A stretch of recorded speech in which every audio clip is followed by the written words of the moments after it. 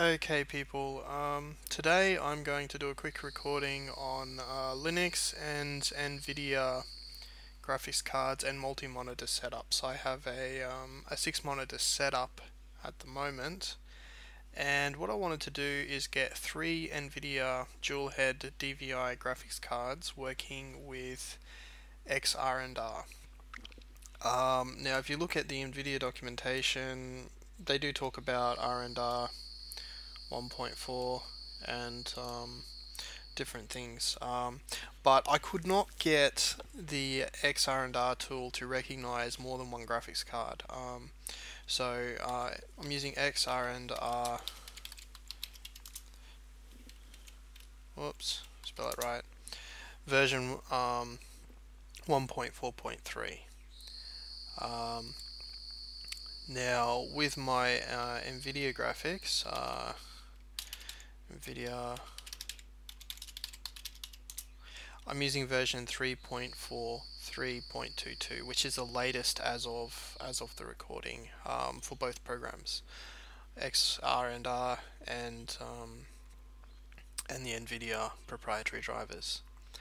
Now, if I go X R and R list providers, it's only showing me one NVIDIA graphics cards. Um, and it's saying that there's four outputs, but the two DVIs are meant to be able to be split into different monitors. Um, but I haven't been able to find the cables to do it. Um, but I've got three graphics cards, and basically I wanted all three to be detected. Um, now, in the um, NVIDIA documentation, you could got like set output is a set provider output yeah. Um, where you can go and NVIDIA it's uppercase. Dash zero for example. Uh, now it gives me an error message. Um, now I've also seen people say you can do things like 1 and 0 um, to, to give it extra cards but it doesn't find the index of any of the other cards. Um, so at the moment in this recording I am using it with um, without Xinerama. Um, so I'm just using um, its standard. And here you can see in um, in the KDE monitor settings you can see that my recording window I'm doing it at 720p um, so I'm recording the whole monitor at 12 1280 by 720 so 720p recording. And my second monitor is um, the full the full size and I'm saying that it's above because um, I got my two 27 inch monitors above each other and then I got four 24s um, so I have another monitor here another monitor here another monitor there and another monitor there. But unfortunately xrandr doesn't um, doesn't recognize it. Now um, you can get it working with all six monitors um, but um, unfortunately um, you don't get the proper three like hardware acceleration now if you look at I'm using Linux but in in Linux there's documentation here that says as of August 2013 from 3 319 upwards um, Xinerama um, you should use 3.13 driver. Um, now I think this is out of date because I'm using um, I'm using version um, 343 and I'm using kernel 316.4-1 and Xinerama is working perfectly for me. Um, so anyway, I'll show you um, the config that I'm I'm using um, so actually just be xorg.conf is the one I'm using with Xinerama. So I'm telling it to load GLX and Xmod. Um, here's my screen layouts for my um, my six monitors.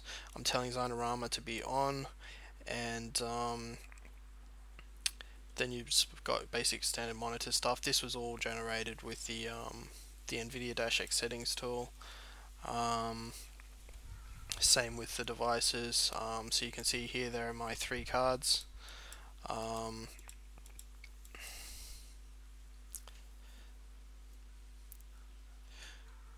with all the different um, so it's dual head so so 0 to 5 there's my six um, DVI heads um, so in the screen section um, I turn on allow GLX with composite to true in the uh, NVIDIA documentation it says that some OpenGL programs may have issues with this and may cause stability problems. I haven't had any issues.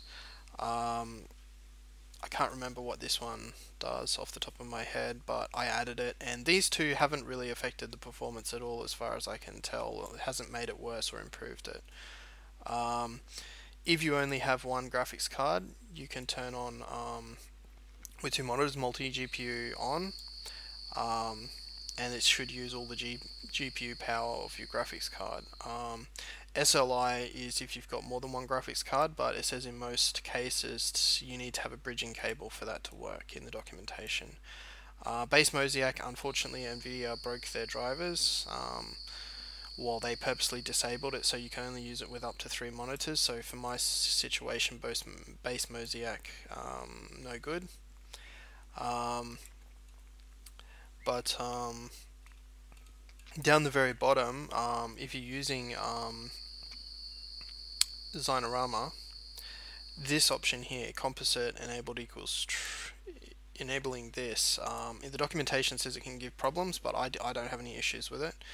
Um, and it gives you some some hardware acceleration um, in um, in Xinerama across the six monitors, but it's a little bit sluggish. Um, so with Pipelight, for example, uh, if you turn on Flash, um, to get the latest Flash, like the Windows Flash drivers working with with Firefox, um, using a custom version of Wine, uh, it does play the YouTube videos perfectly. Um, where if you have this composite um, disabled, the the plugin crashes. So this allows me to watch YouTube videos um, on my six monitor setup.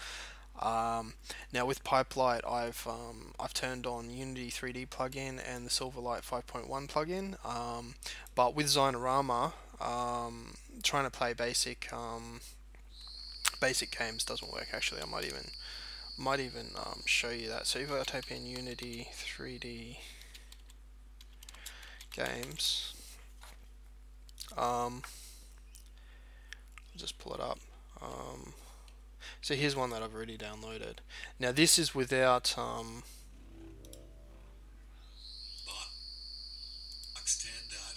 Okay, it doesn't look like.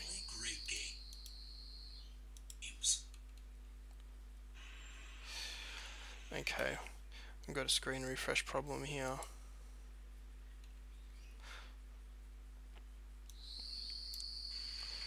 Alright, let's drag it back down. Now this screen resolution that I'm using is really, really um, small, but you can see this is just using Rand R&R. Um, you can see that it's working perfectly, um, but um, you can actually even make it go full screen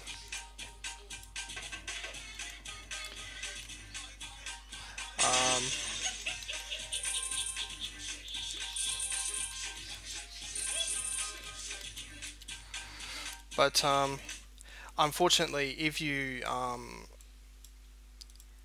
if you try to um, to to play a basic uh, Unity Unity game with Xinerama with my six monitors, it's too sluggish to play. Um, but using the xrandr with um, with two monitors, it, it works it works flawlessly. And uh, with the Silverlight 5.1 plugin that I that I installed, um, it um, it again works flawlessly with um, xrandr with my with just two monitors on one graphics card but if you try to enable three graphics card and six monitors it's a little bit sluggish so the 3D acceleration um, by enabling the composite doesn't work properly. It's better than if it's disabled, like Flash video, um, the Flash YouTube videos will work okay, but anything more than that, it's a little bit unhappy. Um, now, um, just another quick thing. I did try to um, try to have just the devices listed um, to see if um, if xrandr would would pick up the extra cards if I only listed the devices. Didn't didn't work. Um, and um, so at the moment for multi-monitor setup, what I'm doing is when I when I want to um, when I want to um, use the six monitors, I just basically um, copy the Xorg with the six monitors to you know forward slash etc x11 xorg.conf and then I just do like the sudo system ctl restart KDM and then it will restart obviously all the apps I have open would, would die and I, I'd then have my six monitors set up and then if I want to um, if I wanted to um, I've just got my two monitors set up which I call a game config. I don't really play games but it works with games and I'm using it for the screen recording because I can easily change my screen um, the screen size using the tool here um, so it was just convenient. So at the moment unfortunately um, xrandr only seems to pick up one, one graphics card. Uh, if you've got more than one for Nvidia anyway. I've seen seen people working with Nvidia and ATI or Nvidia and an Intel built-in card, so you can get that sort of stuff to work apparently according to the forums, but I can't get it to recognize more than one Nvidia graphics card. So um, if you are interested in in multi-monitor setups, hopefully hopefully this was um, useful for you, and I will stop the recording.